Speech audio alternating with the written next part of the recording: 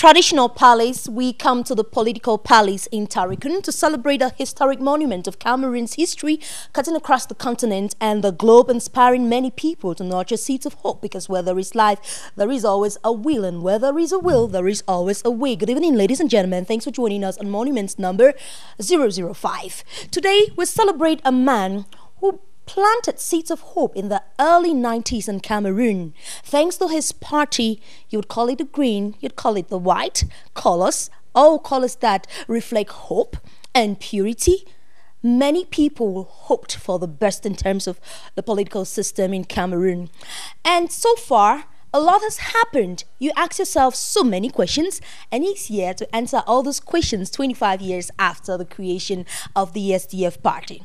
Yes, you want to know how he began? You would certainly have answers to all those questions, so you understand that there is always a beginning, there is always the middle of a story, and suddenly there is an end to a story. We'll be celebrating the 25th anniversary anytime soon, and we certainly want to know the perspectives of the party for 2015 and the future the SDF party has for the political system of Cameroon. Let me say good evening to His Excellency. I'll call him so because he is still the National Party Chairman of the Social Democratic Front. Would I say happy birthday, Mr. Chairman? Would I say good evening? Good evening and happy birthday. Oh, thanks so very much, Mr. Chairman. I like your outfit. Is that the Fru Ndi outfit? No. How do I call it? It's a national outfit, and it's an outfit that uh, most Cameroonians like the only difference is that uh, uh, before we started off with politics, people tried to disassociate themselves from their traditions. Whereas in the Northwest, we had the, the traditional stitched Northwestern, Northwestern dress, the togo, uh, with the old uh, dantiki that were well embroidered, which identified the Northwesterner uh, at one time, it seems as if the Northwesterner was uh, sort of being stigmatized, hated, and uh, as such, they didn't quite want to identify themselves with their traditional outfit. But when I came into politics, I made sure that I pushed this down the throats of Cameroonians. I had to identify myself with my tradition. I wore my traditional dresses uh, to Europe, to America, um, other parts of Africa. And uh, I'm a proud man to say that today, these traditional dresses are being worn not only by Cameroonians but by foreigners who come here and they fall in love with. So I would say that it's a traditional Cameroonian outfit, which I'm proud of. Of course, and the reason why we celebrate you is because you're a man who sets standards and he stands for the standards. I'm not going to ask you to present yourself, Mr. Chairman. I will ask you to define the personality beside uh, behind the name Ni John Fru Ndi. That's a difficult question for me to start talking about myself. Who am I? What do you think of me? I think that you, as a journalist, should be able to tell the world because I'm really, really, I was really proud to know that you are a, uh, a May 26th baby. If, if, if not in 1990 immediately, but sometimes thereafter is still fitted in that uh, will.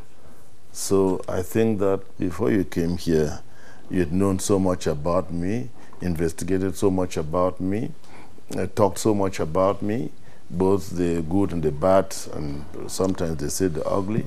So it's left now for you to ask some of this from whichever angle you want to start off with so that uh, we try to cleanse because you might have the wrong opinion, people might have given you the wrong opinion, the wrong impression, the wrong conception.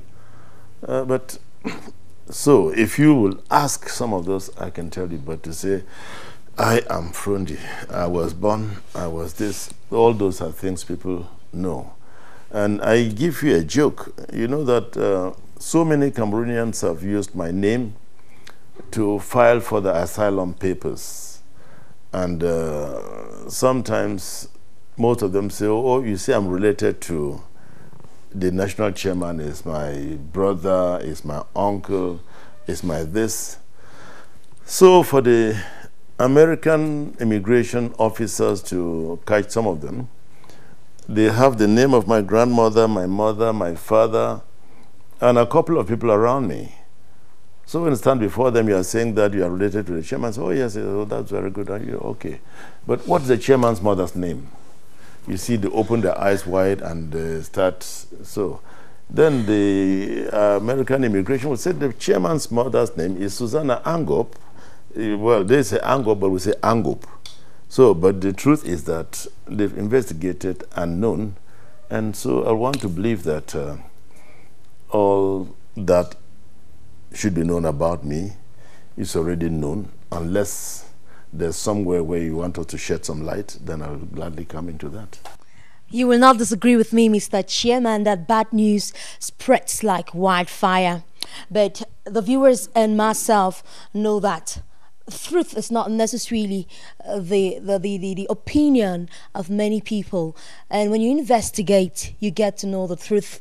It is bitter, but it must be said and it must be spoken. And the truth is always known, no matter how long it takes to dark. Sunlight comes in the morning.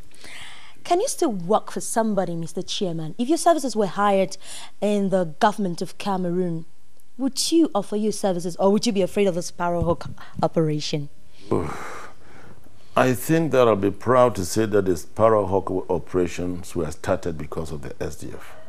Because when we started hammering in the early days about the capital flight, embezzlement, and all the like, I mean, you remember that Mr. Biya came up to us, where's the proof? Uh, late Codox asked, where's, where's the proof?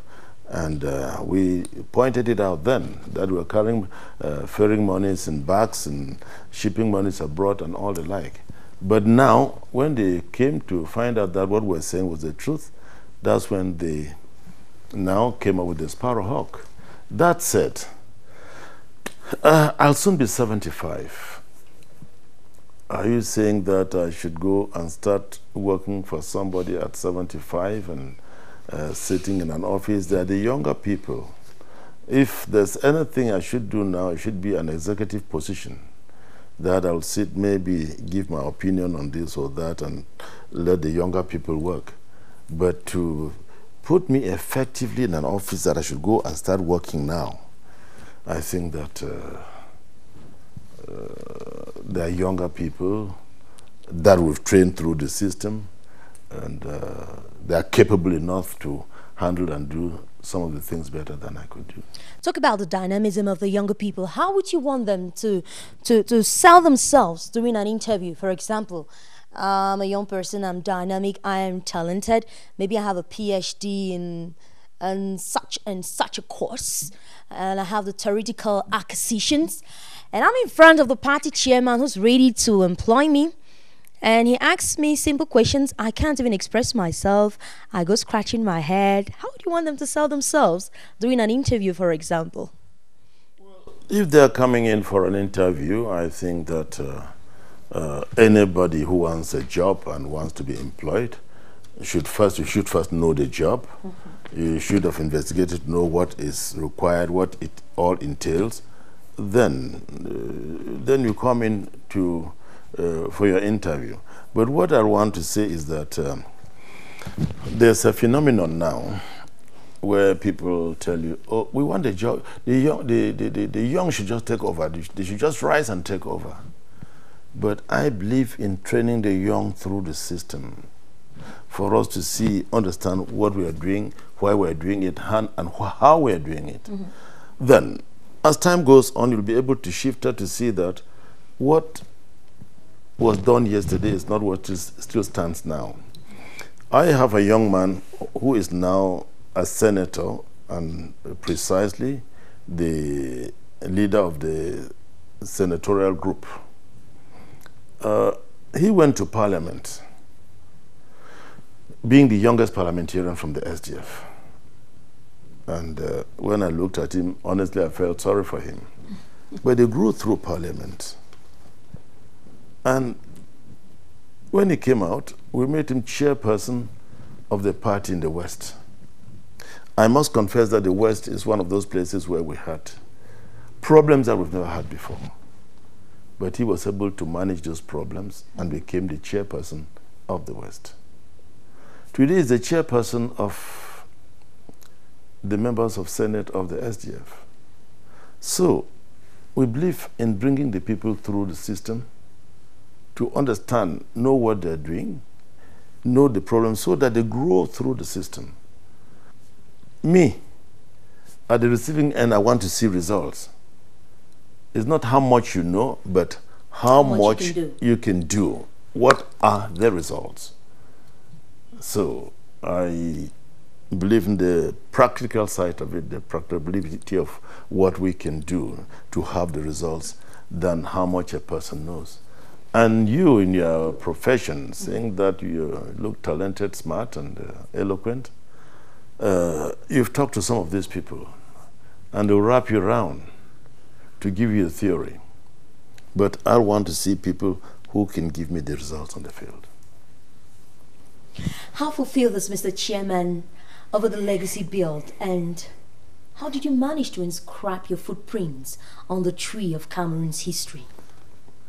Well, I want to look back onto the Cameroonian people who gave me all their support because when we sat down and uh, talked about the party and uh, um, came out with a few rules and regulations to form a political party, uh, it was just like a step into darkness. Uh, we were looking at the sufferings of the Cameroonian people. You know that before 1990, the gendarmes were the gods of Cameroon. You are talking to a gendarme, he slaps you and says, Don't look at me this way, look at me this way. Or you have a vehicle, NW, you're already a sinner. They have to halt you here, look through your documents. Sometimes under the rain, the rain is dropping. They're opening your documents under the rain. And the very people who've been opening your documents under the rain will tomorrow tell you that your documents have been defaced, they're blurred, they cannot see. It says because people open these documents under the rain. They say, I will write you, I will go and lock your vehicle up, I will do this and that. So they, treat, they, they, they did not give you a human right. You, you felt out of place. Mm -hmm. So, um, with all this, that like in the West, when people saw the gendarmerie, just the cap, they just started running. For us to have broken the myth and come out to let people know that members of the armed forces are there to protect us, to work for us, for us to work together to build our society. Mm -hmm. It took some time. But when we came up with this, Cameroonians came out in their numbers mm -hmm. to say, yes, this is what we've been waiting for. We support you. Mm -hmm. I think I can only look back with gratefulness unto them, with thankfulness unto them, that where I thought I was stepping into darkness alone, I had so many people to hold my hand and support me, and we found ourselves sailing together. So it's to them that I can say thank you. I am grateful. Because look at it. If, for instance, when I went up to launch the party, I saw nobody behind me. I saw nobody around me. When at intervals they opened fire, if all the people around left me alone, I could have also taken off. But most often you saw, especially you, the women folk. And that's why I dedicated my political career to the woman for the love I have for my grandmother and for who she was to me, and uh, what the, the, the, the, Cameroonian women and the Bamenda women in particular did here when they held me under house arrest. We remember that women slept outside here for two months. And the way they organized themselves when this group is going home to rest, this group is coming. When this group is going home to cook. So, I mean, it was amazing. So, up till today, that I'm talking 25 years after, I do not know how I shall ever thank the Bamenda woman and the Cameroonian women in particular for all that support which they gave. So, I now found out that I was not stepping into darkness alone. I had people who had been suffering in silence, and they came up and they had the opportunity and they came up to say thank you, we are together. I remain very, very, very, very grateful to them. Oh my God, a great leader, right? One who knows how to say thank you. And I'm sure he knows how to say I'm sorry. Because if he can thank you, he'd certainly know how to say I'm sorry. And please, if you're just joining us, you're watching the live cast of Monuments. It's short live from the political palace in Ntarinkon, and we're talking to the man that gave hope to many Cameroonians in the early 90s when we had the multi-party system launched through the Social Democratic Front. Mr. Chairman, on the 26th of May 1990, amidst a launch of the SDF party in Bamenda, can you give us a brief recount of the events that happened before this day, right up to the launching of the party? Uh, we had applied to the administration that wanted to launch the party, and uh, and we wrote a letter quoting sections of the law that permitted us to uh, form a political party. And uh, you see, because the population had been intimidated to run away from all these things. When we came and quoted the sections of the law on multi-partyism, the forming of associations, it took the government unaware. They panicked. And uh, because they panicked, they had to do everything to disturb us. That you will understand that the SDF was the first party that was formed. And uh, we came up with a constitution, we came up with a um, manifestos to show what we were able to do. And uh, they made a U-turn and said, but Mr. Chairman, for you to form a party, did you, did you uh, sort of consulted Cameroonians from the different regions or provinces then to see whether they were in your support? We said, okay, that to us is not a problem. We had to organize uh, uh, an emergency uh, congress where we had people from the far north, North Adamawa. They came in and uh, they chose an executive. And uh, they were looking forward unto us to now use these documents to apply newly. But we told them that we are updating our documents so that that application that we had filed in for the, uh, for, the, the, for the formation of the party still remained. But to show the myopic, myopic approach of the government, they quickly got late Gustave Essaka, Dick, approved his party. And uh, until Esaka died, he never launched a party. You never saw with whom he was ever with his wife. And uh, to me, they had to push me to go canvas for other Cameroonians to prove to the world that it was a national party. And of course, when we now apply to launch the party, you understand what happened. They tried to block us. They sent over 2,000 troops to Bamenda here to block the SDF from the launching of the party. They talked to our elders uh, Pa Muna had to come here, beg me. Late Pa Muna had, Pa Muna had to come back. Late Pa Foncha had to come back. Mm, um, Archbishop Emeritus, late uh, Verdzekov, who was very, very close to me, he came here.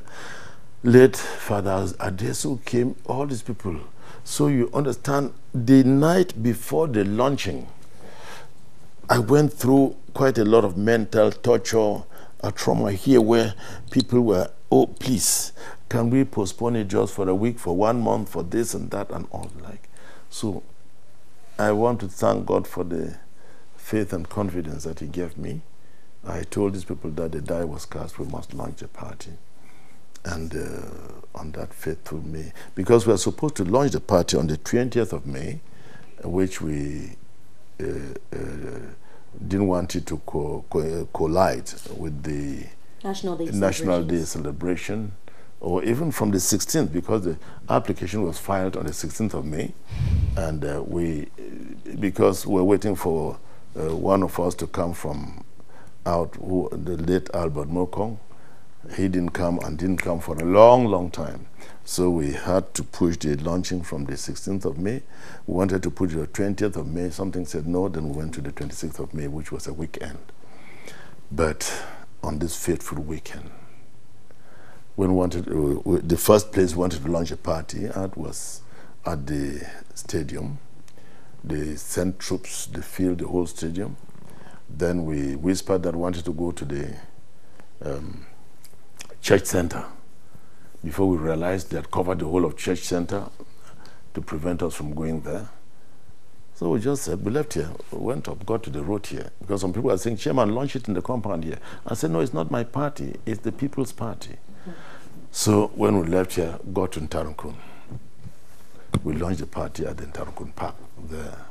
And uh, when we first prayed, and now uh, I read my opening statements and told Cameroonians how the Cameroonian has been taken for granted, maltreated, and taken otherwise, that we wanted that oligarchy to come to an end where we should be able to express ourselves in our own uh, country and all the like.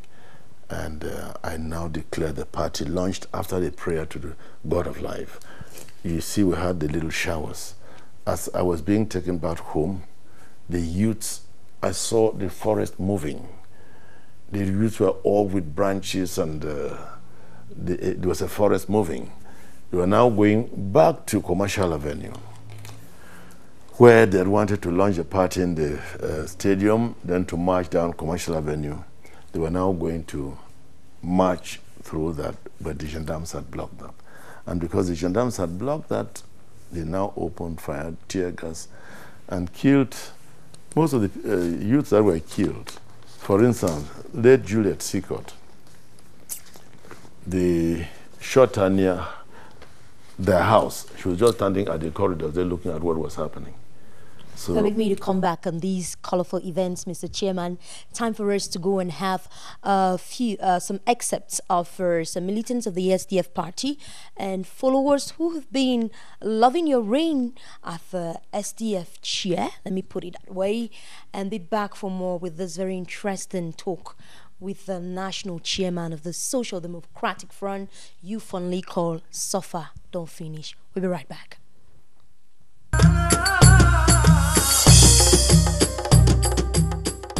I've known the chairman for over 25 years, for about 30 years. And uh, as leader of the SDF, as national chairman, it has been a reign of uh, clairvoyance,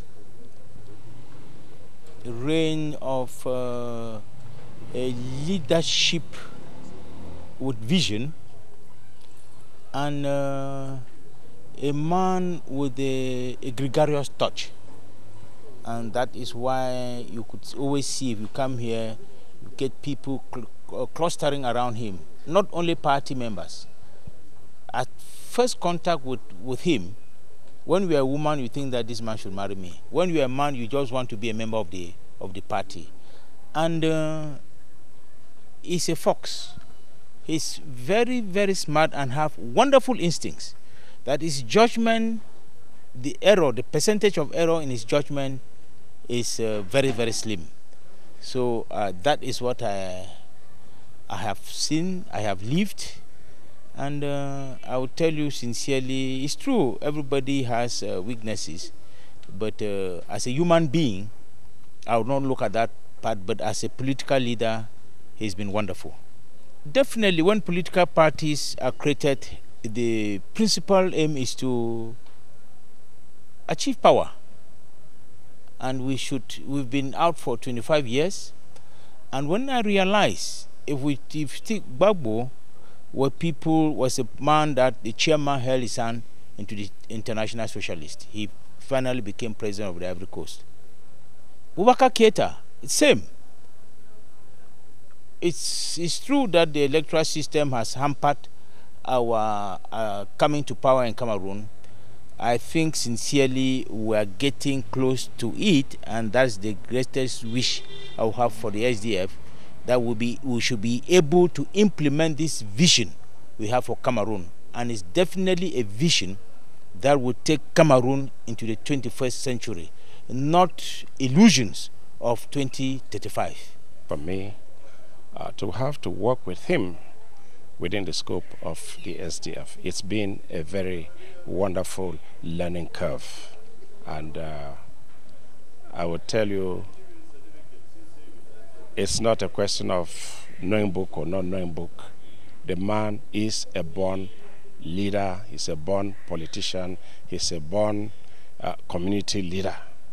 We are looking towards the day we take over power and uh, move this country to the next level of achievement.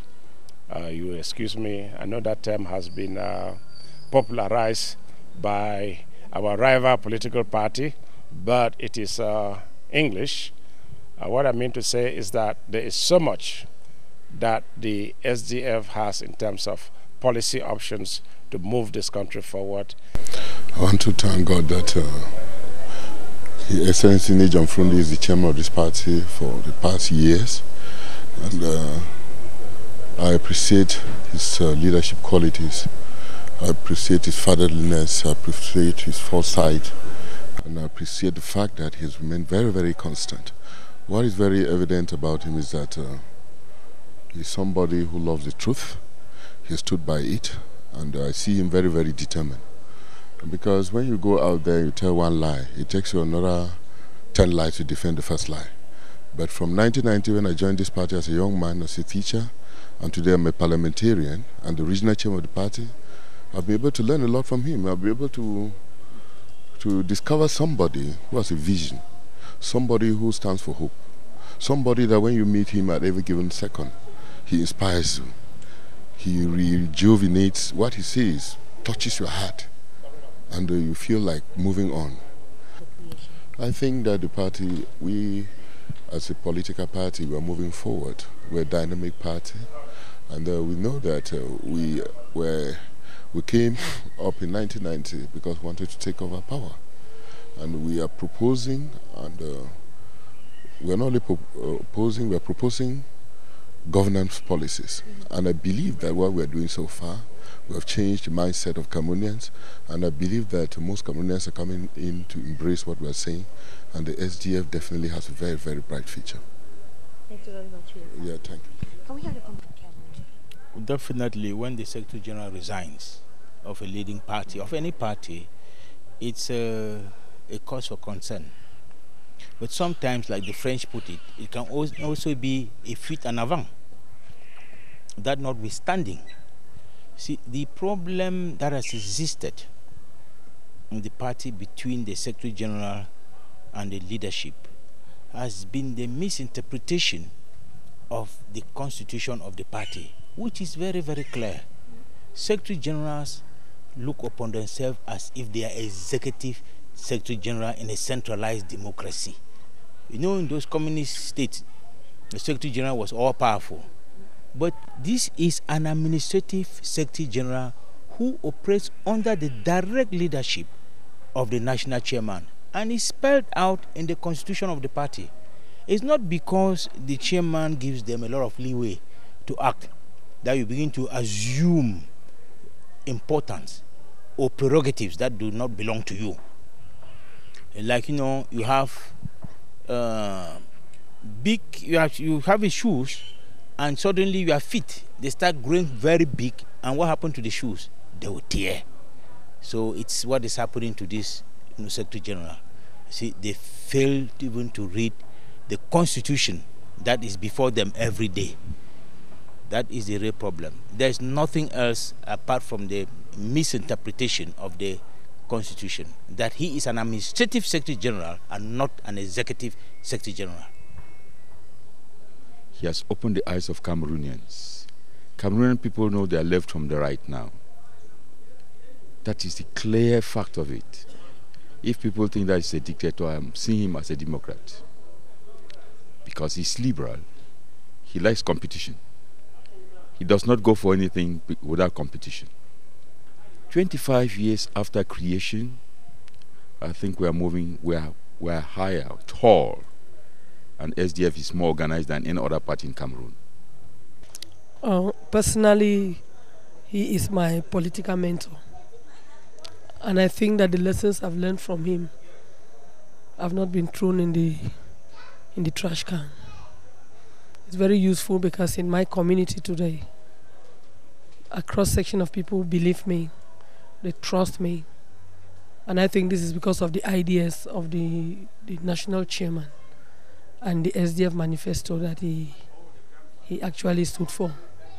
After after 25, it's a full-blown man. If you were a child or a, a, child, if we delivered any child, my son that I delivered when I was pregnant in 1990 today, the man is a, a, an independent man. He works, and so SDF should, at, after 25, also strive to be able to take over this government and make sure that we redress these things from inside.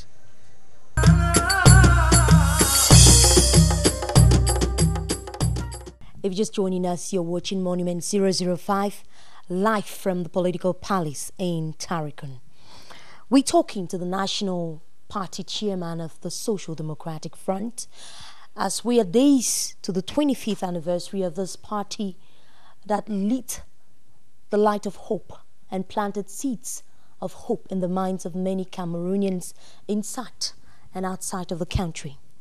We're talking about the events that occurred before the launch of the party and would probably continue with the driving force that instigated militants to believe in Ni John Fru Ndi. It's very difficult for you to say John Fru Ndi without wearing the Ni on it. It's really, really out of out of place. And so we, we continue with those callers, Mr. Mr. Chairman. We were at the level where uh, the militants marching from Ntarinkon back to the commercial avenue were blocked before we took the excerpt of militants uh, telling us what they make of your reign at the helm of the SDF party. Well, you know that um, there, since these young men and women were now fighting, trying to get through Commercial Avenue just to march, mm -hmm. I think that uh, what was in the minds of the gendarmes and the members of the armed forces uh, that were blocking the entry into the street was that uh, they feared that maybe they might go there and start looting because in most countries when such events happen you know they take advantage they loot they break into people's homes they break into people's shops they do quite a lot of damage uh, uh, well that's what i thought and believed then but there might have been other things that uh, the young soldiers too, some of them were there with their youthful, youth, youthful exuberance. They wanted to show to the young boys and girls that uh, they could fight them. They had the guns, they had the tear gas, they had the water cannons, they had all these gadgets, to, which to me were to protect the people, but they had to use that in defending themselves on the commercial avenue. And uh, uh, that's how it all started. Mm -hmm. And uh, first, I want to again uh, thank the young men and women of this town, especially the girls. I don't know from which market they bought the jeans, jeans trousers, mm -hmm. because all the girls were in their jeans trousers. Secondly, I don't know who had told them that uh, when you put Vaseline to your eyes and your nostrils, it was going to reduce the uh, the the hurt okay. of the tear gas. Okay. So you saw all the faces were all greased up, and you know the way people are, were doing things were just going like that. Mm -hmm. And uh, honestly, I was overtaken, but I remain so grateful that the events climbed up the way they did up to where we are today. So. What do you think was the driving force that enabled people to accept the SDF ideology in the early 90s? It was because we addressed the burning issues at that time. And unfortunately for us in Cameroon, those burning issues then, 25 years ago, are still the issues that are facing us today. Because the SDF addressed the bad roads. Mm-hmm. The SDF addressed the high handedness of the police and the gendarmes on the highways. The SDF addressed the schools that hadn't classrooms, schools that hadn't teachers, schools that hadn't benches. The SDF addressed the hospitals that were not well staffed and the hospitals that hadn't medicines.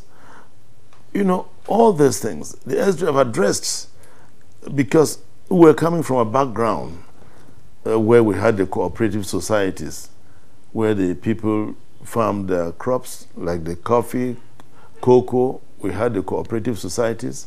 They had uh, the food cooperative societies where they sold their things. But you see, after unification, all these things were shattered. People looked hopeless. The coffee prices first were reduced, then later on they were not paying at all. So that's why from then till today, people abandoned their coffee farms. It's now that government is trying to encourage people, well, would we'll give you uh, good, spe good species of uh, coffee now, Arabica, you plant and sell, and people are not interested again because of the heavy work that they have in coffee. For you to prune coffee, uh, to try to harvest coffee, you have caterpillars there that are burning you. They need, need heavy doses of fertilizers.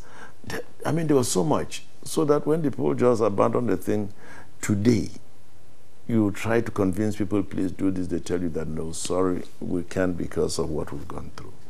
So we addressed all these issues, burning issues. And when I went to Ngaoundéré once and uh, my first rally in Ngaoundéré, the Ngaoundéré grandstand was all full. I talked there for three hours because I was talking in Pidgin, they were translating in French and translating in Fulfulde and a fourth language. So this the people understood and they were very happy. I addressed the uh, wheat industry that was earmarked for Ngaoundéré. I addressed the, the, the height and skins uh, um, that was built there, which was not being used. I addressed all these failed projects, even in a place like uh, Yagoua Maga, we addressed the, the rice uh, project there, the, the, um, um, the hauling mill that was there, the one that was in Sancho.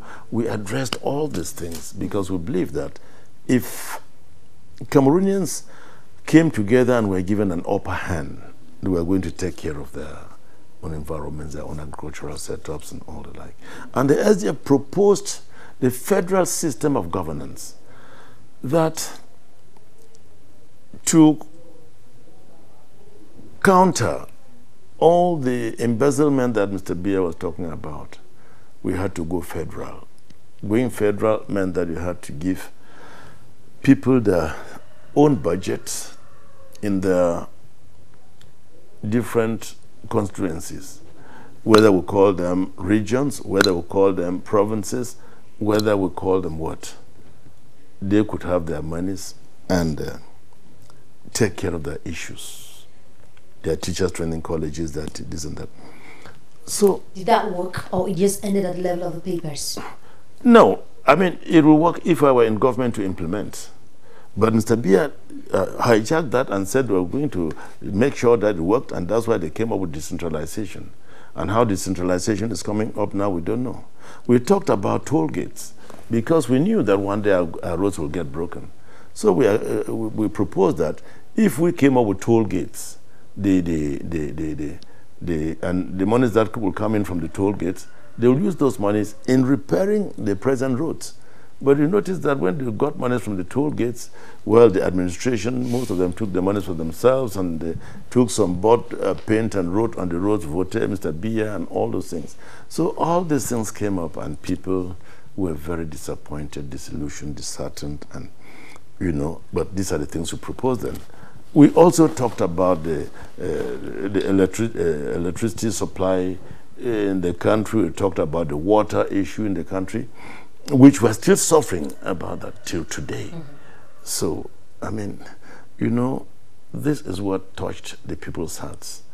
And they said, if this is what a government can look like, this is what the government would be, would uh, support, would join them, would, would believe in that. And we talked of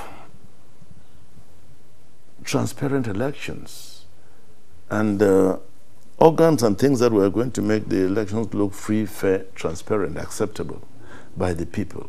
All the things we discussed, we debated on. We wanted a constitutional revision that was going to guarantee all these things because it was not just a matter of talking, but to make them constitutional viable, that you could, the constitution permits us to do this. Well, they now told you that Cameroon is Cameroon, uh, will be going gradually, will uh, know, we know what to do, we know how to do our things. We have no lessons to learn from other people.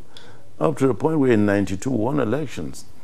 And uh, the president of the court, uh, the constitutional court who was sitting in for the, um, what was that again?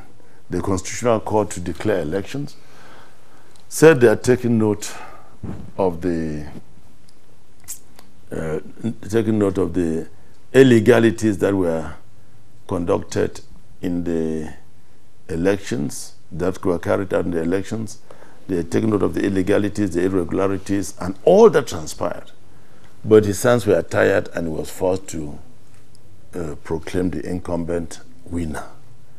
So you start you started asking yourself, what is it that will tie the hands of the law? Mm -hmm. And, uh, well, as usual, at one time I quarreled even with the international community because the other day I watched the American Secretary of State uh, condemning what was taking place in Iraq, condemn what was taking place in uh, uh, Uh, the other Arab countries where people are fighting, when the international community has to end up at the level of condemning, the SDF said, if football are concentrated in in the heights, they're kicking, running up and down, heading, it has all the laws a handball is a handball. A penalty is a penalty, though people now try to juggle. But if that has laws that govern, why should we not have international laws to govern elections? They tell you that, oh, you see, the states are autonomous. We cannot come dictate to Cameroon. We cannot go dictate here. But if elections are rigged in Cameroon and Cameroon is at war, when the international community is coming in, they don't ask Cameroon again. They just come in to sell their arms and to do what they want to do and tell you that you see we're helping you. But the SDF was of the opinion that we should be able to have laws that will govern elections anywhere in the world. But they tell you that the states are autonomous, we cannot interfere. And with all this, it was very hurting and it's still hurting till today because they believe you must fight to show that you are strong enough to take over the government. Um, we are all living witnesses today as to what the SDF did not want in 1992 going to war. When I talked about the international community and uh, the way things are going, politics in Africa in general, mm -hmm. uh, you see, at times I get very angry about this Islamic fundamentalism but what is happening is that sometimes people are pushed to this extent. Mm. If you had started a war in 92, as I told Mr. Biya here, I had every backing from the people who voted me as the president that year. I could have taken advantage of that to say, okay, I'll fight to seize the victory. But uh, I've worked in a couple of places, especially in Nigeria, where I saw I was a living and an eyewitness to the Nigerian Biafran War. I saw what happened. I, I know what transpired. I know the human damage, material damage. and the trauma that the people went through. And from my uh, early business as a businessman, when I'm going to Douala, the way the police, the gendarmes, the custom will bother you on the road, that made you to understand that one, the Anglophone was not a well loved man. The Northwesterner was sometimes a target. Several times at the Douala seaport, I was called a Biafran. And uh, you see, this hurt me. Up to now, there are Franco Anglophones who, who are telling me, look, chairman, let us go. But because of the bitterness I had in those early days, I looked more of coming up with an Anglophone party. But when I formed the party and declared it national, and had the wonderful opportunity to tour this country from here to the center, to littoral west, to the, the south, to the east, Adamawa, north, far north.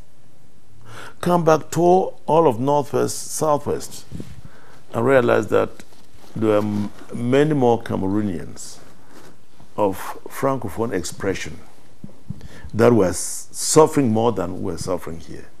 Because here we were able to express ourselves, we could fight back and uh, face certain things. But these people, because of the past, because of the struggles for independence, where the members of the armed forces sponsored took advantage to vent it on people. I mean, it was really nasty. So I knew that if I said, look, I have to fight it out to get this, have had the support. But at what cost? Because just the six that died, they hurt me so much. Though when I got into an international meeting and I was talking about the launching of the party, and uh, I was so bitter, nervous, uh, talking how six people were killed and all the like. Some senior official there asked in a very cool, calm tone, only six, they killed only six people. And uh, I looked at him, he, he, he put down his head and smiled. After the meeting, he held my hand aside and said, Look, you have a case, but you still you're not very experienced. Because look at a day, a day has 24 hours. And this, in these 24 hours, there are about 27, 28 different things happening in the world where you hear 100 people have been killed here, 50 people killed there, this and that, and all the like. So when you come, you're crying on six people. Because to me, I'd never faced that. And my prayers were that I should never face it. Mm. To see people die before me. Though Boko Haram has come now, and uh, people are dying in their hundreds, and uh, you start asking, what do you do? So, with all this, we try to avoid war and looking at the way uh, Cameroonians were suffering in the other parts. I've taught Cameroon about 19, 20 times in 20, 25, 26 years. So there's no corner of this country that I will not, you will call and will just beat me like that. If I have one place I've not reached, it is Touboro. Though they've dug a road there now, I will still want to reach Touboro. When people feared going to Rey Bouba, I was there, and the late Lamido of Rey Bouba was a close friend, and I'm still very close to the families of the Rey Bouba. I sat on the boat, on a canoe going to Manoka, trying to go into the islands there. I sat in a canoe which was leaking under heavy rains, crossing the river, going to Chamba. All these things I've done to know how Cameroonians do uh, live. What is killing us in our country is that uh, when we came up with the SDF, the Biya's government took advantage and opened the flood gate for people to form parties somewhere, just small children from school uh, who had no experience on anything, and they were using them to disturb you on the field. But what I want to say is that um, Mr. Biya was doing that because himself has not taught this country to know what the average Cameroonian is going through. You see, today, when he pronounces elections and he says going out for campaigns, he used to go to Lekia, and when he realized that so many people were dying on the road accidents when he was returning from Lekia, he had to he had to uh, start going to Maroua and Douala. Mm -hmm. These are his two places. But when you say elections and you give me two weeks, in two weeks I must touch all the 10 provinces or 10 regions of Cameroon. There are days I have nine rallies a day, seven, five. If I have few rallies, you can count four. Up to the point where there are some rallies that I have them at 11 o'clock at night. They fought me in Messamena. In those days, there were no telephones. As they fought me in Messamena, I was still there, and the radio CRTV was announcing that Fru Ndi has gone to Messamena. I was fighting. Meanwhile, there were people there beating me. And going to Zoétélé and these other places at 11 o'clock at night, they sent people to block me, insulted me, and held me the hostage till 1 a.m. Now, if I can go to Mr. Biya's place by 1 a.m., it means I know the people and I trust them. I have the confidence in the Cameroonian people. Because for 20 years, I've gone through all the, the breadth and width, width and breadth of this country at some of the most unholy hours. I will leave Bamenda at 5 p.m drive overnight by 7 a.m. I'm in Ngaoundéré. And I leave Ngaoundéré, cross Garoua, Maroua, by 11 p.m. I'm at uh, Fotokol. So during all these travels, day and night, to show you the love that Cameroonians have for me, I've never fallen into the hands of armed robbers. I've never been attacked in a way. All the attacks I've had are from the members of the armed forces that the overzealous elites of the area sent them to block me from going to their place. I, I remember once I was going to uh, Olangina, mm -hmm. and uh, we got, and we were branching to go. They used the, uh, the rain gate to block. So when this young man saw us branch to come in, he got frightened, he opened the rain gate, we went down. Halfway inside the bush, there was another rain gate, and they put some young men, muscular people there, to block us from coming in to get to Olangina. So we got there and said, My friend, what is it? He said, This toll gate. And that since it was, he said it was a toll gate, he said, How much? He said, 3,000. We gave him 3,000. Giving him 3,000, he will not open the gate he will not open the gate. So, as he will not open the gate, my boys went and uh, onto the other heavier part of the, the metal bar, pressed it down. He went on, went up with it. They left it. He came, fell down, wounded himself. And he got up, was trying to fight. Some people said, Look, look at these people. You want to fight? You're fighting Fru Ndi for what? What has he done you? The people who deceived you to stay here, block him, are gone. So when I got into um, uh, Olangina, it was about 6.30, getting dark. Because the people were there flapping their fingers, swearing, Fru Ndi will not come here, Fru Ndi will not be here tonight, Fru Ndi will not come. Ah, when I got to Olangina, uh, there they were.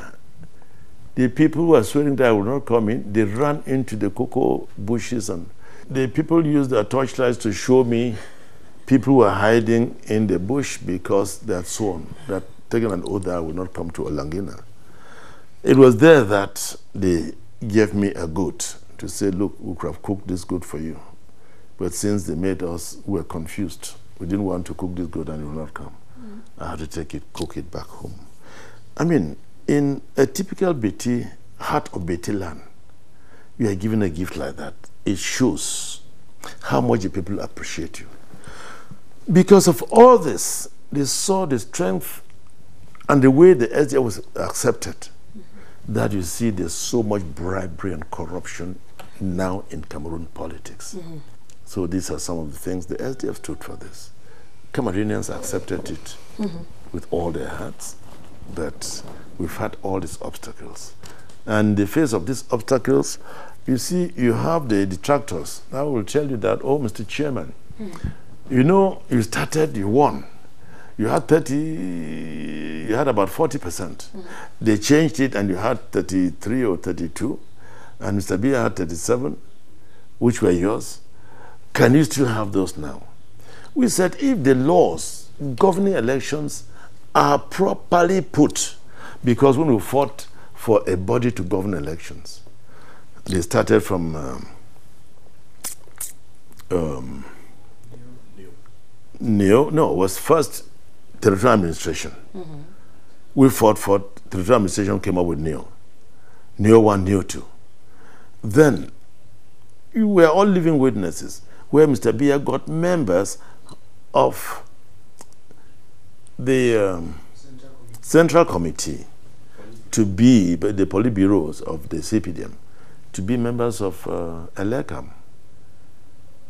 And when they became members of ELECAM, they said, no, we've resigned us from the CPDM. And some even went further to argue that, oh, you see, Fru Ndi was in the CPDM before. I said, we were in the CPDM before, and uh, as far back as 1990, I formed a party to challenge the CPDM. You must have known that I'd resigned. Because by 1988, I went into elections because I saw that things were going wrong, which the people who were in parliament then were not tackling those things because we believed. The background I come from, uh, where, where I went to school in Nigeria and all the like, parliamentarians debated issues affecting the people on the floor of parliament. Mm -hmm. So I thought that I could take some of these things, deba uh, debate them on the floor of parliament, but again, the elections of 1988 never worked. So when I saw that things were not working, I had to come out to form a party to challenge. And any fair-minded Cameroonian will bear me witness that the SDF has worked enormously. And uh, through this, Cameroonians can express themselves, they can do, though there are still some with long throatism that uh, they, they, they, they, will tell you, oh, Bomo, chop on, let us eat. They now look at politics as a place where they go to just make money. They don't look at the... Have their own fair share of the national cake. Right, but they sh should look at politics as a place where you go to serve. It's a call to serve, not a call for you to go have your own share of the national cake. It's time for us to read some of the messages coming from you Cameroonians out of Cameroon on social media. Mr. Chairman, we have this one coming from Fred Awoma Achondo. He's writing to us from Canada and he puts the he puts it this way. As a current chairman of the leading opposition party in Cameroon, apart from promising to send smoked meat and corn to the army at war front, what else have you done to support or boost the morale of our armed forces, particularly now that our nation is at war? Do you consider a fundraising to that effect? If not, I commend, I commend your effort to do so. It is not just raising funds to get monies. We have to be sure that when the money is gotten, it's well utilized. First, I went visited the wounded members of the armed forces at the hospital. I consoled them. And uh, I sent my first vice. He went up to Maroua. He was able to go to Mokolo. He went down to Mora and uh, touched a few places where people feared going. Mm -hmm. And I will be repeating the trip myself. But let us, uh, uh talking to him, this is what we've been able to do. I expected somebody calling from Canada like that to, who says we commend your efforts to say, look, I'm talking like that. I have $10 here, I have $50, I have $100. Please, can you start this? From Canada, America, and most often Europe, They're easy to recommend what you should do, but they're not out to say, look, this I own. I remember when we had a tsunami, I wrote to the committee that was gathering food to send to the people of tsunami that I had a thousand dollars and I had uh, a certain quantity of plantains and cassava which we could convert to gari and all this to send to these areas. Now, when I said this, ah, people laugh, Fru Ndi has failed. Here him sending a thousand dollars. But if you see how much Germany started with, they started with a small amount. And when, when they started with a small amount, Germans were adding and it came up. The British started with a small amount. The British people were adding and the money amount came up. But in Cameroon, the Cameroonians out, oh, you see, Fru Ndi has failed. He's not sent this amount. He was supposed to make it big. It is you who make me big. The war is a war that's affecting Cameroonians. If I were able or ready to take advantage to go visit these people, and my parliamentarians and senators are putting themselves together first to handle those that have been wounded to make sure they eat well and get well to get out of hospital. Already, government is concentrating on the um, uh, those soldiers that are at the war front. But there's another tricky situation we find ourselves in. Nigerian refugees are in Cameroon, and the Cameroonian army looks at the Cameroonian refugees in that area as accomplices to Boko Haram. So these people are going without food, their children are not going to school, there's so much more. The government can uh, announce that they've given 5 billion for classrooms and all the like. But madam, please, with all due respect, it's easy to announce that, but it's not easy to implement it. Because if you've been to the north, you take note that most of the villages, you have a small cluster of villages of 50 people here, of 100 people there, of this and that. And the houses are just thatched houses. And these thatched houses, when they get here, the people, maybe they are running from Boko Haram coming to Cameroon army. The Cameroon army will not know whether those are Cameroonians or not. They might open fire on them. And when they are running, because there's this crossfire. The Boko Haram again. So you see, we are living, it's a dangerous situation where I want us to forget about any other thing, recollect ourselves, come and see how we can solve the situation. Otherwise, what we are talking about, a war between uh, Cameroon and the Boko Haram, Chad and Boko Haram, Nigeria and Boko Haram, would be a long drawn war. We should not take things for granted. Look at when America opened fire on Iraq. They said it was a thing of two, three weeks. Are you seeing the situation in Iraq now? But when they said that, we cried. I cried.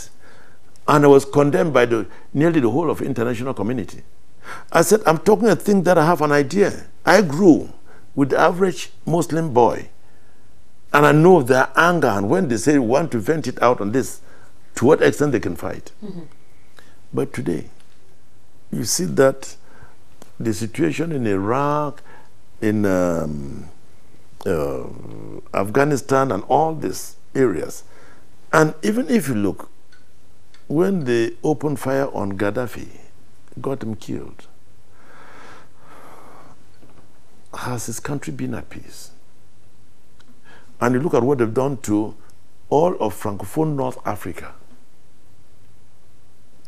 When the Boko Harams first started attacking Cameroon, they abducted the French. The first time, the second time, the Chinese. They never abducted any Cameroonian. But when Mr. Biya went to France and said, I declare war on Boko Haram, that's when they attacked Cameroon. And that's why then I said, if they're abducting the French, they have a quarrel with the French, they should abduct the French in France, not here in Cameroon. And that's how some of us were trying to take it. But you see, if the French, the war that the international community are fighting across the deserts, uh, across the Mediterranean, they bring it now to make Cameroon the fertile ground. I say that my people in Canada and in Europe should contribute something and say the SDF, we believe in what you are doing, take this and face this. I'll be right up there. You heard of, uh, uh, because we had already always cried that we want to plant seeds of love. We don't want to plant mines. Over the CRTV, you heard that the the captain, the young captain, was killed uh, of Southwest origin. Uh, he died from mines. And if there was anything at hated in declaring a war, is because they will end up planting, planting mines. And when you know that the mines are planted, which they've been planted nearly all over Africa, it's not possible for the peasant woman whose dead we're celebrating today to go to the farm. You see, in Central and East Africa, they've amputated people's arms, killed this and that, some with uh, crutches, one leg, both legs gone. All these are sorrowful sight for you to see humanity mm -hmm. going through that because of war. So I think that Cameroonians should reorientate themselves and look at it better. We have another one coming from Alia Prosperline. She's joining us from the United States of America. After 25 years of political struggle, Mr. Chairman, some will argue that the SDF has done so much for Cameroon. Some will arguably say he could have done better. What do you say about this? And who to you are Cameroon's enemies? Well, I want to say that we've done the best we could and we're still doing the best we can mm -hmm. with the understanding that we have of the field. And uh, again, I think that even that question is halfway mm -hmm. because people say 25 years Fru Ndi, we are blaming Biya. Why don't you resign? democracy is not a thing for me to say, okay, today I resign. The SDF is the only political party that the leadership is open up to challenges, mm -hmm. where we have a convention, people want to stand as chairman of the party, they come, we stand elections. Mm -hmm. If they had beaten me, I could have handed over to them. But there are people who say, oh, friendly, like late Ngwasiri, his soul rest in peace. Mm -hmm came straight here, removed his glasses, looked at me and said, God has prophesied to me that if you don't resign, give me the party, you will die. I said, Clement, a professor, it's me who took you to church. Are you saying that uh, uh, that God answers your prayers and He answers mine and that of the Cameroonian people? He was saying that I will die after two months, uh, two, uh, two, two years of my wife's death. I said, so you think I'll die and my children will go like that? Sorry, Clement. If you want to take over the party, let us go. You are a constitutional expert. Mm -hmm. Summon a, an extraordinary national convention. Let us go in there for elections. The people elect you. You go in. Mm -hmm. But what is happening like that, oh, you should resign and give. You, oh, let. Now, if I resign, the very Cameroonians who are telling you this, you see, Fru Ndi has eaten so much of Mr. Biya is resigning now because he has so much. They will turn it that way. Mm -hmm. So, but I give in to challenges at the leadership of the, uh, the, the, the, party. Mm -hmm. People challenge me at conventions for the leadership of the party. Mm -hmm. I give people the opportunity to challenge me for the presidential elections. I stand elections. I stood elections with Ben Muna, with um, Nukti. I stood election with Tabising. I stood election with all these people. But there are people think that you should just resign, step down. You don't step down like that. And they confuse the political struggle to governance. The SDF's constitution is clear that no uh, president coming in from the SDF platform will do more than two terms. There's none. But people think that, oh no, you should step down now, you should resign, you should give to younger people, you should do this, you should do that. To the extent that you have people, non starters from Europe and America, they come and tell you that we want to stand elections with you. Give us the chance, step aside and give us. I said, look, stepping aside is one thing.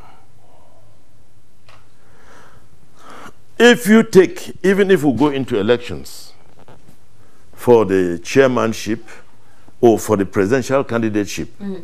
and you defeat me, take note that you now take the party too. Mm -hmm. Because if you're able to take the party, go in for elections as a presidential candidate, mm if you win, you run the country. If you don't win, you should be able to run the party and still prepare it for other elections. You don't call Fru Ndi again say, please come and now help to run the party again. Let's see. Okay. Gilbert Wemes joining us from the nation's political capital is a young gentleman running Yes Cameroon who believes a lot in volunteerism. He'd like to know about the future of ST SDF as we are going to celebrate the 25th anniversary anytime soon. And he would like to know if the party chairman has any thoughts of ST SDF after his leave and how is he preparing for his successor. Fru Ndi is not somebody who looks forward on to living forever and ever. The first politicians, late Foncha, late Jua, late Muna, late Endeley, all these celebrated, late Ahidjo, mm -hmm. celebrated politicians died. So if I'm a politician worth my salt, I should also know that one day I'll die. And uh, knowing this, we've sent young people to parliament We've sent young people to the councils. The mayor of So, who is now a celebrated mayor, went in the youngest mayor. And people looked at him and asked whether he was going to, he, he, will be able to do anything to the uh, people of So. But today is being healed. So those young people that were choosing, the, the, the chairman of the Northwest was a young man who went to parliament. We have uh, Look at the, the, the, the parliamentarians of the SDF. They're all young people. And there's no political school where you go there that you are training people. Mm -hmm. But you have to send them to these positions and you sit in the National Executive Committee meeting with them. You debate, we are talking, and other people who, who are of the National Executive Committee, we have retired senior citizens. We are there debating issues with them, looking at how we can best do it. Mm. When you are doing this, you are training the people, you are educating them. So that tomorrow when you are there, they have an idea. One of the things that impressed me when I went to Germany, France with some of my members was that when you go get into an office, you meet an elderly man with a young man. You meet them about twice in that office. The next time you come is that young man. So that young man has gone through some schooling. He's been able to uh, get in touch with people, with this elderly man to see the way he handles the issues and all that. Mm.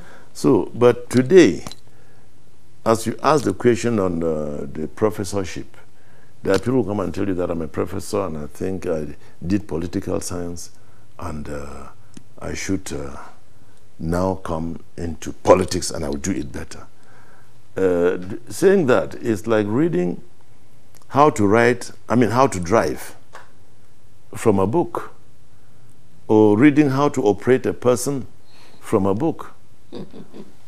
the doctors take you to the theater and they teach you when you hold the knife the first time you tremble. Mm -hmm. When you hold the steering the first time you tremble. Mm -hmm. But the doctors take you to the theater and the person teaching you driving is telling you, okay, halt here, uh, traffic here, turn left, turn right, takes you into heavy traffic, you tremble, say, come on, keep moving, look, for, look straight ahead. And when you shall have done this after some time, you know that you are now a driver or a full medical officer who can operate. And uh, unfortunately for some, for some of them who challenged me in those early days, I gave them the opportunity. These are the people addressed. They got up, looked at the crowd, they panicked. Mm -hmm. So if you start panicking by a small crowd that has already been tamed, then you understand what I went through when we started. Mm-hmm. The gendarmes were there intimidating us, firing tear gas, this and that. Are fighting with them and still moving. And there are some of these people, these young people who went through with us, and they're still there today. So they understand. So Fru Ndi is bringing these people up looking that sooner or later it'll be sunset and good night. And uh, my joy will be that SDF continues on a better footing when I'm not there. Then I'll know that I've succeeded. But if the SDF will not, the younger people that are undergoing their pupillage and training and all the like in the party now, will not take the party higher than what it is now, then I failed. Then I know that I didn't do my work properly. Just one last question this time. We can take all your questions. This is from Lunluisa. She's a writer and a part-time lecturer at the University of Bamenda. She says a high degree of voters' apathy is seen to exist in Cameroon, perhaps due to the loss of faith in the electoral system. With some changes going on, Mr. Chairman, how is the SDF working to get many more Cameroonians on the voters' list? If Cameroonians have even the caricature of what we call a lekam, it's because the SDF fought for this. So I want to encourage all these young people to get their names on the voters list because ELECAM, though bad, is also making an effort to put ELECAM structures everywhere at the entrance to markets, at churches, uh, in their offices for people to go there get registered. Mm. But the unfortunate thing is that I have a problem with these younger people. Mm. They are the people that they use to rig elections. If you bring Fru Ndi's card, we give you 5,000. Mm -hmm. You go bring it again, we give you 5,000. Mm -hmm. And they now. They sell the future for few notes. They sell the future. Mm -hmm. Now, if you educated, you are a university graduate, you are a university student, mm-hmm. you are a high school student, you sell your future.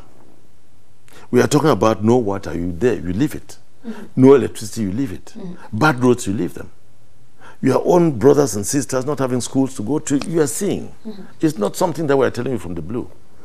But if they tell you that, take, if you try it today, you'll have about 20,000 in your pocket. Mm -hmm. You sell a whole future for five years for 20,000. You turn to blame Fru Ndi. What are you doing? What strategies are you putting in place to combat the CPDM? The strategy is in your hands, you, the younger people. Mm -hmm whose future is at stake. I've lived my life. I'm going grey. I'll soon be celebrating 75 years. Not many of my age mates went through this. And I have every reason to thank the Lord God Almighty for sparing my life up to where I am. The next prayers are that He should help me fulfill what He kept for the Cameroonian people. If I still have anything to do, He should help me fulfill for the Cameroonian people. But if he knows that the Lord God Himself, sparing my life today, I will destroy one good thing I ever did. Let Him not let my, me see that day that I will destroy the good thing I did to give Him shame and dishonor. So, it is in your hands, the younger people that are asking these questions. I appreciate your enthusiasm I, I appreciate your, your willingness to know because the future from these questions is their concern, as it is also my concern. Mm -hmm. But it's not a future that I can build alone. You can build a future with them. I can build a future with them. And that's what I said from the onset that if when we launched a party and they came up with the guns, cannons, this and that, and started fighting, mm -hmm. if the RAN left me alone, I don't think I'll be talking here. If I'm here, it's because the Cameroonian, the elderly people in particular, the Takembeng mothers, I must pay tribute. I was almost forgetting about them. They were here, they beat these women, pushed them, kicked them. Have you ever thought or imagined that they beat your mother in your presence. It's heartbreaking. I was held here under house arrest. And my mother was coming down. A gendarme officer beat my mother, kicked her, she fell in the gutter, bruised her knees, and was bleeding, crying, and telling me, please, if I die, continue. You are dying because of people. Go ahead, my son. That was my mother. I wanted to climb the fence, they helped me. I cried that day like a baby. Has anybody's mother ever been beaten in his own presence? You see a young gendarme officer kicking your mother. And you know that it's a man you can also squeeze his neck and throw him in the gutter. And uh, they beat your mother. Oh, my wife is serving, cooks food is serving people in the SDF. She goes down with her head on the floor palm and dies of aneurysm. When she died, professors of good standing said, Oh, they say it's me who's killed Maros. I said, My son, a medical doctor, was in the theater with the brain surgeons in the university teaching hospital in Switzerland, in Geneva. He saw what happened to the mother. But somebody sits here to tell, they say it's me who's killed. When you tell me this, and you are a man of a certain standard of learning in society, how do you want me to respect you? I mention these two cases because there are issues that hurt me so much. But if in the midst of all this hurt, I still look at the greater interests of the Cameroonian people, I think that it's time for them to come for us to continue working together. Because I could have said, oh, they beat my mother. My wife died serving. And I have all the excuses I can give. But I thank God for giving me the courage to withstand it. And I do hope that with time, people will come to see themselves, realize themselves, and take action. And he keeps walking the race. 25 years after, he's still planting seeds of hope. So you all, you all aspire to do things that will inspire a younger generation to be like you, or why not greater than you. The reason why we're celebrating him on monuments. Mr. Chairman, what do you think is the reason why opposition cannot unite to fight against the ruling party? You see, the regime in place, you'll agree with me that Cameroon is the only country in Africa with over 300 and something parties. Mm-hmm. Is that democracy? They had to bring these parties in to cause confusion. Whereas they told us in the early days that, oh, you can, we cannot approve your party until you um, contact the other provinces of the country to find out whether there are people that support your ideology. While we did that, you now have people, they quickly approve somebody's party who was just with their wife. Because until Gustave Essaka died, may his soul rest in peace. Anywhere he went, he was just with the wife. So you have all these people who call themselves political leaders who now, uh, sponsored by the regime, come tell you, oh, you see, we have 15 of us, Fru Ndi. You are alone. Come and give the leadership to one of us. And they say, give it to this man. And you look at the man, he has no base, he has nobody on the field. I remember the first presidential elections that we went through. Um, my campaign manager will tell you here that here give give this campaign monies to this woman or to this man. Mm-hmm. That's my representative here.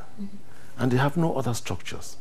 We gave the monies, but I still gave monies to my people who have who had the words and the structures that they could use in uh, checking elections, mm-hmm. in conducting elections. Mm-hmm. So these other people took their money, at sat down.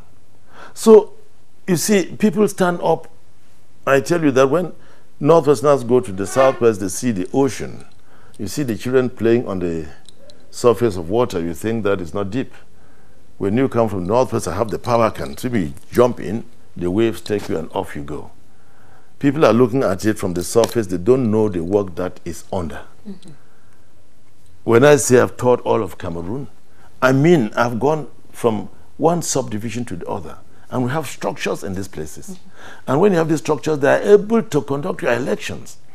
Then, if you go and give to somebody who has no structures, you have people who first tell you that, sorry, Mr. Chairman, we cannot work for this man because we know that he cannot win. And uh, you even look, when we fought here mm -hmm. and pushed the BS government to enact laws to say that Cameroonians in the diaspora should vote. In America, what did the Cameroonians tell us? We went there, they said only those that came through the embassy, only those that have this. You have the police there, you have all these uh, agents there that can protect you. They said that you go and sit you down. You didn't fight it out there. You want me to come fight it in South Africa, in uh, Britain, in Germany, in America? It's unfortunate. Ma, with the 300 political parties, some of them have gone into elections and had nothing. I will give you a typical example of the last uh, presidential elections we had. People cried then that, oh, chairman, please let us have a consensus candidate. I told them plainly that the only candidate I can give in to was Cardinal Tumi, if he will accept. We went and Cardinal Tumi refused. We held meetings, they said, okay, they should give it to Ndam Njoya.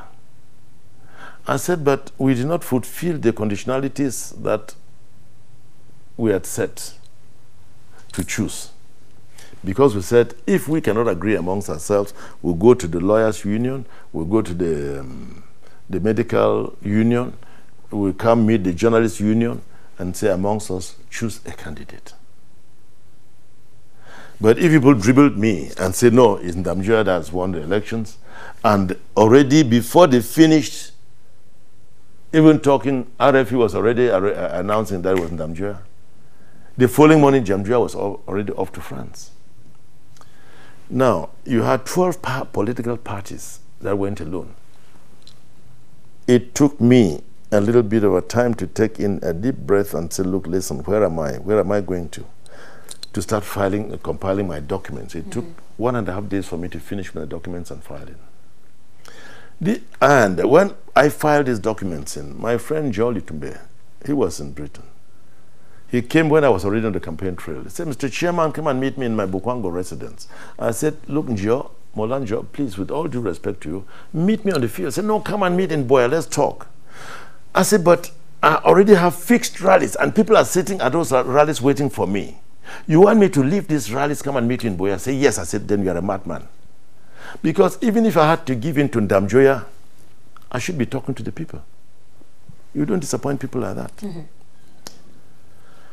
And uh, I went solo, mm -hmm. alone. And with all the rigging and everything they did, I had 17%. And about three, 13 political parties that went together had less than 5%. They couldn't get up to 5 to get their deposit. So they lost their deposit. Then you had people that came in like uh, Edith Kah Walla. Well, with all due respect to her, she had a right to her ambitions. Uh, she had point something zero, point some zero, zero something, this and that. Happened. So when you have all these things and you see the people, you know the output on the field. They tell you that come and give this person. Those people are saying like that in bad faith. They are spoilers. They are not political. Uh, they don't have that uh, uh, political culture mature to analyze things and tell you that, look, let us hand it out here. So, when they start coming like that, I took time, went with them round from the south to the north, east to the west. We got to some places, they say, oh no, when, they, uh, when we invite our militants out, they should not come in the party regalia, let, the, let them just see the people outside. I said, no, my militants should identify themselves. So they were just trying to play you down and all the like. So and despite all of that, you stood the test of time. I stood the test of time. And I want again to thank Cameroonians that on short notice they were still able to give us the percentage they gave. But you see, Cameroonians now judge you on this percentage. Oh, in the first elections you had about 30 something percent, but you now reduced to 17. Why? They do not see the mechanism that Mr. Biya has put in place with the end of every election, they tighten they, they, they improve on the rigging machinery. Let us look at the last uh, council elections. With ELECAM, they said people should vote in their polling stations of origin. Mm-hmm. They came up to Bamenda 1. There were voters from Yaoundé, voters from the west, voters from all over. And you saw the series. And you complained that to ELECAM. ELECAM said, okay, we'll see. We'll, we'll, we're investigating. When we catch a person, we'll do something. We're investigating. They ran up and down and it just fizzled out like that. Are you telling me that I should have gone boxing people and all the like? Or even in 1992, as I told Mr. Biya, the only other alternative was for me to declare war. But I had lived in a country where people fought. I saw the damage. And I said no. And we'll come back on that famous handshake when the number one personality of the Republic of Cameroon met Mr. Fru Ndi for the first time, some of you said, when he came to Bamenda for the celebration of the 50th anniversary of the army, right after these images taking us back February 20, 2013, when Cameroonians joined their counterparts in the southwest regional capital of Buea at Bongo Square precisely to commemorate the second part of the 50th anniversary of the reunification of Cameroon when normally we should have been celebrating the 53rd anniversary. We'll be right back for more.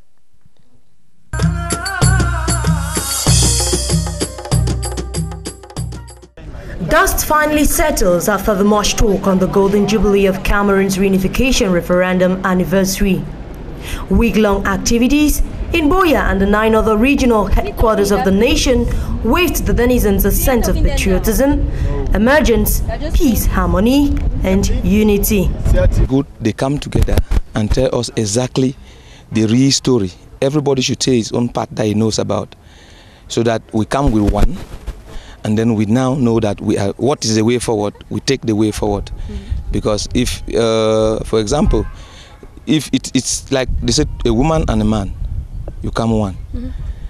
If they become one and they cannot share things in the house the same there remains a problem. Once you are in the house and somebody is complaining you should find out mm-hmm. actually what is the problem mm-hmm. So it will be better we come and sit the big guns majority of them will not say anything because they are fi- they are afraid of their own stomach. You cannot bite the finger that fits you. Mm-hmm. So the best way is this. If they are out of it you find you can't remember you- to, to see that when they are not in power they fight the ruling the, the, the, the government. Mm-hmm. When they are in power no everything is good Will the 50th anniversary of Cameroon's reunification be long remembered for its cultural commodification or its historical introspection? It's a myth. It is more of assimilation than enculturation. We are being assimilated. So, the real people, architects of reunification, have you seen their pictures here? Have you seen the effigies here? But people worked, they toiled for 50 years, and one man came and stole the show. So we didn't pay tribute to Foncha, we didn't pay tribute to Endeley, neither to Etimona nor Homyobe. So those were the architects of reunification, and we've just sidelined them. Sorry, we've not celebrated. It was more a political show than reunification. Some say the binding effects of national integration have set the pace for 50 years of nation building. It's been very successful. I'm very proud and happy. Very, very happy indeed. And what do you think should be the way forward for the next 50 years for the younger generation? Um, they should make the best use of the opportunities which have are being presented, are being offered them. Many opportunities, especially in the field of uh, training, learning, improving themselves in technical education and other fields to be able to take play an active role in the development of their country. This is an occasion which should invite us, uh, all of us, especially the Cameroonians, on how Cameroonian we are, how integrated we are, and how we respect uh, our respective cultures, you know, the English and French tradition that we have inherited, as well as our traditional national cultures, uh, which will help to build a more united Cameroon. Uh, unity is very important uh, for progress in Cameroon. It's, um, I think this event shows that the people are together and that we all have to look, work together and move, move Cameroon forward. Credit is due that the Ntumazahs, the Fonchas, the Munas, the Endeleys, the Kales, and all these people who are resting in their graves should be remembered. And we show their pictures that these are the people who fought for what we are celebrating today. But no mention, no picture, nothing whatsoever. Was it a CPDM Carnival Day? The younger generation should learn to work hard, humility, and the chances are all open. Our president is an open minded person. The road networks, however, do not show a sense of these undivisible bond. Until we begin to dialogue with those people and find out the root cause of their anger, they will get to chaos. Answers to the people's worries define and shape the mindset of indwellers, tolerating one another because of language barrier and an unjust repartition of the national cake. It is a good thing promises have been finally materialized, but still a puzzle to unravel for future Cameroonians willing to know more about their history.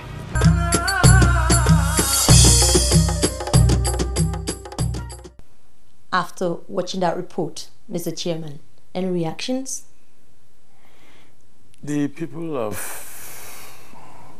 said what they said, which is a truism, that uh, the 50th anniversary or the 53rd anniversary was a CPDM carnival. It was not the 53rd anniversary of the unification because they did not hide, highlight all that was agreed at the unification, highlight all that has been achieved, and to let us know where we are going to.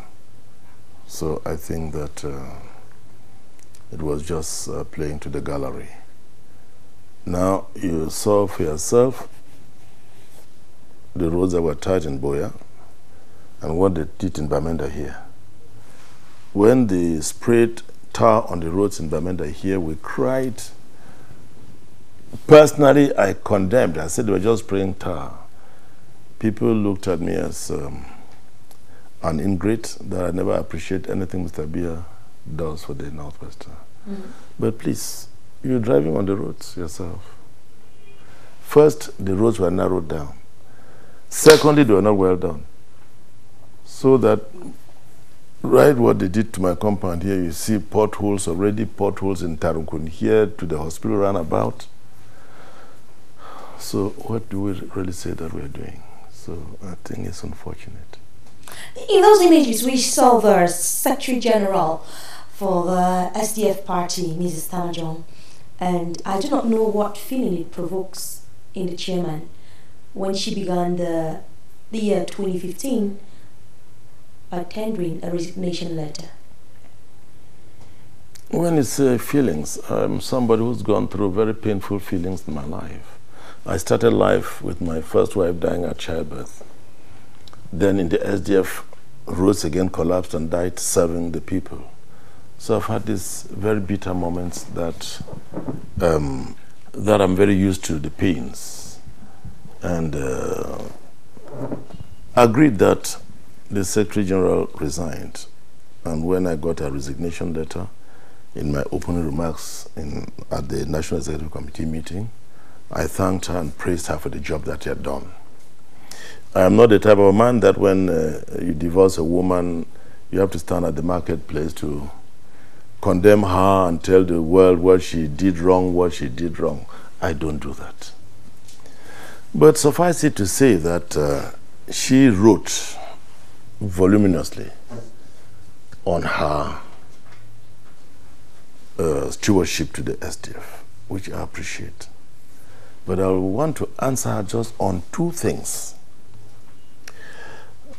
Two, one that she said, we were at a rally in Kumba and she was eating chewing gum and I scolded her.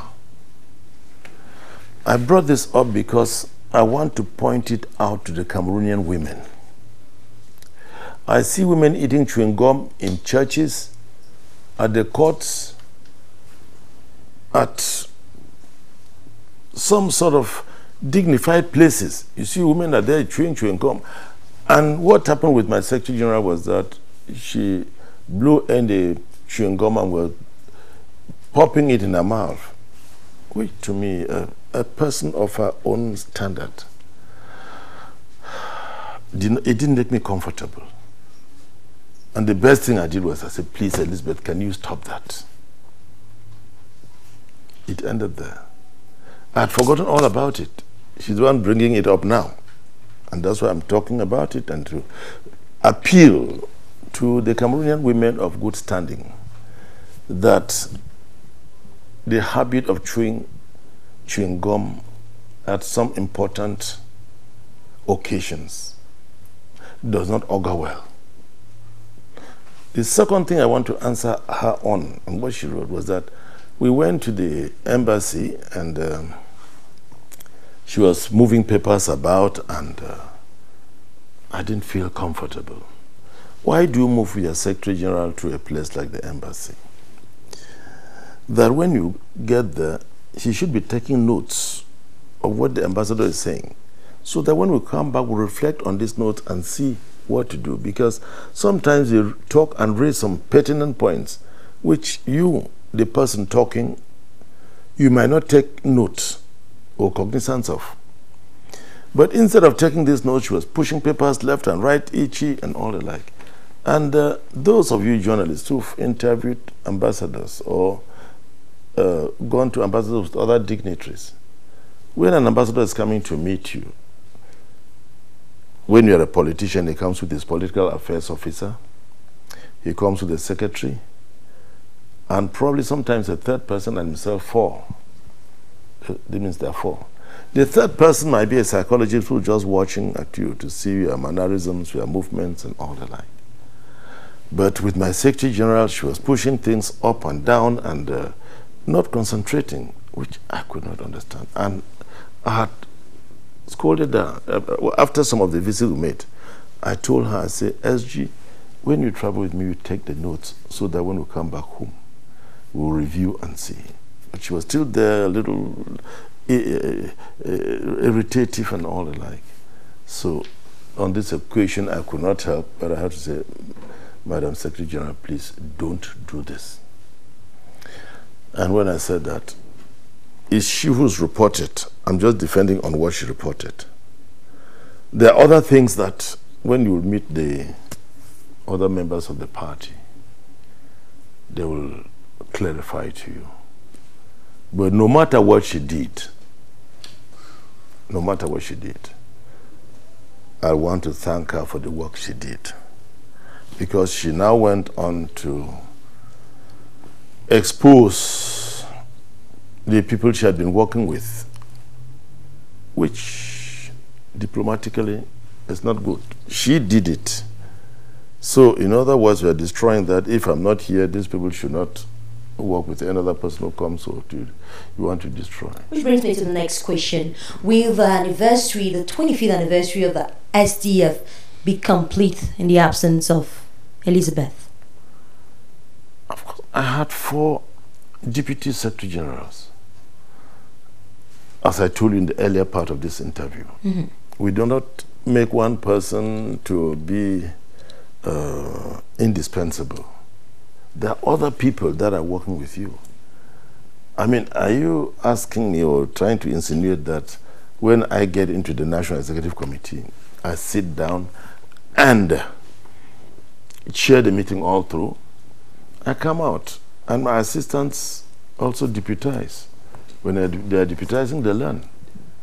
So if we don't have any Secretary General now, we have four deputies that will work until the convention And when people at the convention give me the powers again, we'll see what to do, or these people can walk beyond.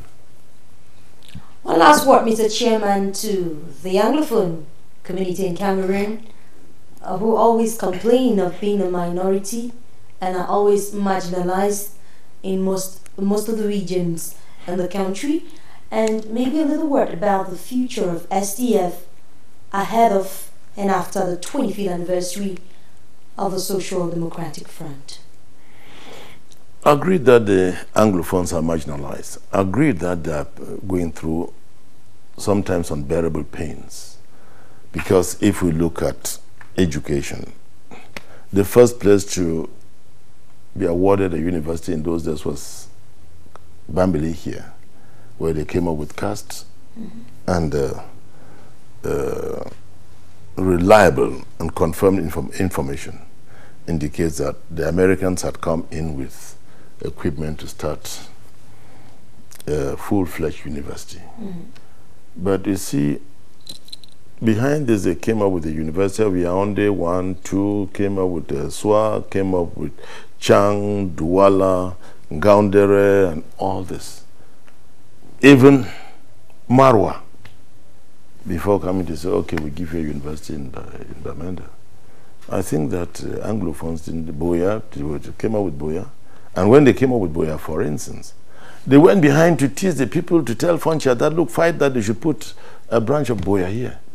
When my late father, Foncha, was talking, Pa Foncha was talking that, oh, let us fight now to get an arm of the University of Buea here. I said, Pa, let Buea have all the arms of the university, the branches, the different uh, uh, faculties in Buea. When time will come for that of Bamenda, we will fight for all the faculties. Because they wanted that they should start uh, fighting now, uh, the Northwest wants this, let's do to see what we can do. No. So when you see all these intrigues that are being done, the average Anglophone will not swallow it. If I am swallowing it, it's not because I accept it, it's because I've also seen how the other Cameroonians are suffering. And when I go to them, they cry, they say, Fru Ndi, if you don't come to save us, we are dead. So I'm like a child caught between mother and father fighting. You see that little child, when the father gives a pang, mommy staggers and falls. You cry, mommy. Mommy, on standing up, picks a motor stick, bang, on daddy's head. He falls. You said, Daddy, you are between. But what is my role? To see how we can discuss this and see how we come up. And that's why the SDF proposed a federal system of governance. First and foremost, they're prostituting and juggling with the uh, census results of this country. Mm -hmm. Now, you now realize that the extreme north that they said was the thickest populated area in this. I went there. I said, look, this place is not as populated as they wanted. And they used these figures, inflated figures from there to rig elections. So um, we thought we'd come up with a good census result, make the country a federal system. And they went and uh, instigated and po poison people's minds that the SDF wants a federal system because I want to take Anglophones away. But when I took the federal system as an option for my campaigns at one time, people bought the ideas. And that with a good census system, you know how many people are here, and we are giving a budget according to the number of people. And they'll be able to take care of their affairs. And then there'll be some projects for the government, uh, like the trunk roads, PNT, the currency, etc. But people still think that the BS government still thinks that you can uh, dwindle and ridicule and uh, smoothen some of the areas and swallow them, which is not possible. I used to tell you people at my rally that when you are smoothing, smoothing me like Gary to swallow, I give in. You swallow, but when you get to my hands, I open my hands and uh, you will not be able to take me in and you can send me out. Uh, and uh, Mrs. Tamanjong, I forgot answering one question.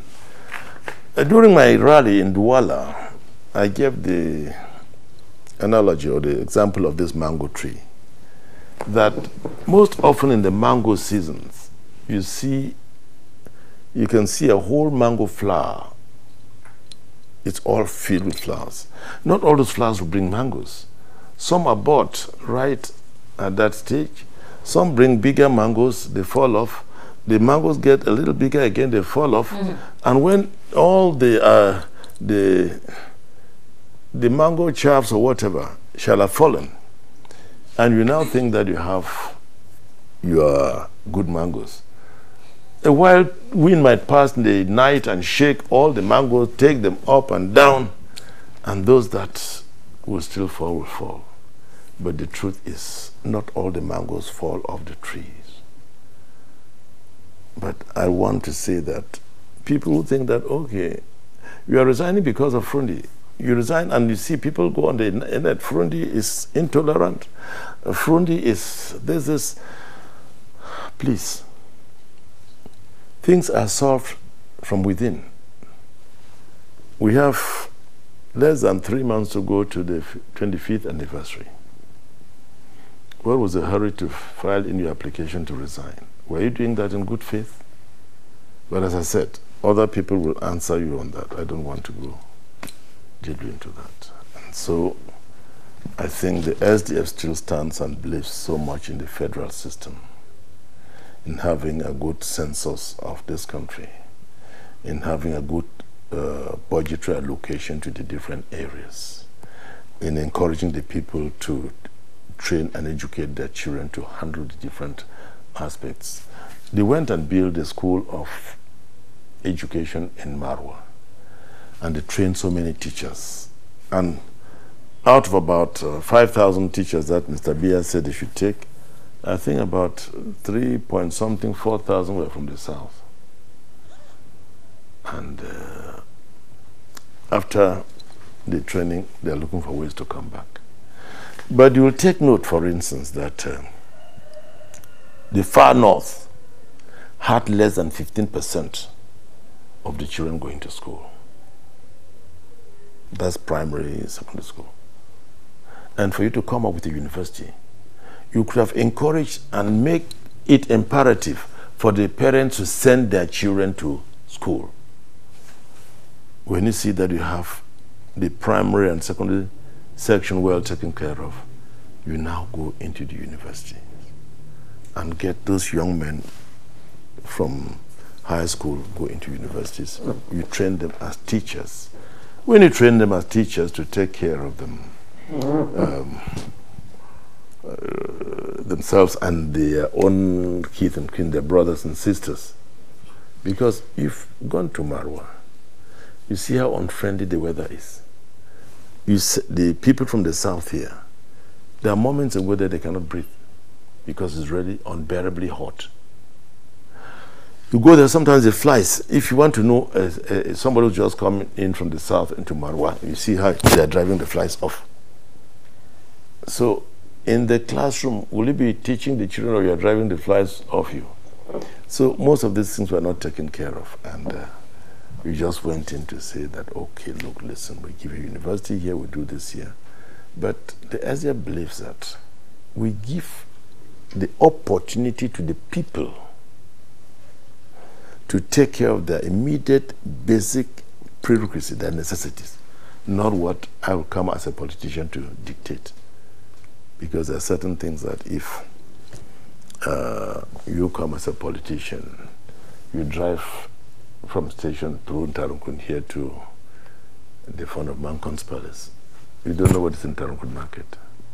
You don't know what is in the valley here until you come here to sit and talk with me. So but if you ask the person here, he will talk to you about where you are and go further. Whereas you coming in here, you will never know. So what we are saying is that the federal system remains the best option for Cameroon. Thank you so very much, Mr. Chairman, and happy 25th anniversary. Thank you very much. We're glad and grateful that you came to do this investigative journalism, to uh, do this fact finding, searching questions, to be able to let our viewers know uh, where we are and what we still look forward on to, hopefully, and still inviting them that they should join us. I want to thank all the Cameroonians for their support, thank all the members of the SDF for their support and dedicatedness, and that there are some of them who think that we should go through times of uh, laissez-faire carefree. What is killing us in the country is indiscipline. You must have noticed that we had the investiture where some mayors were chosen, but some ceased and said it was their time. I still stand elections. I've not refused. I've told the, the National Executive Committee and members of the convention that this man has just come in. I don't see how I can stand elections with him, but I still subject myself to elections. So I believe in discipline. And to talk about discipline, you first have to be disciplined. And uh, it seems to me now that most Cameroonians don't care about their children. There's indiscipline at home, and this indiscipline goes on through the line until we have it in the party, which is not good. If we want to change Cameroon, we have first to be disciplined. And I recommend that very highly, and I want to wish all the members of the SDF happy 25th anniversary, filled with God's blessings and success in all that we're doing. Thank you.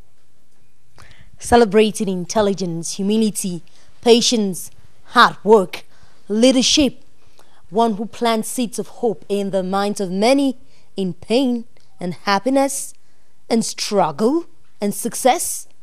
We had every reason to celebrate him on this edition of Monuments live from the political palace in Ntarinkon. Special thanks to the technical crew and even a bigger thanks to you watching. Take the same round of rendezvous on the same channel next Wednesday at exactly 9.30 p.m.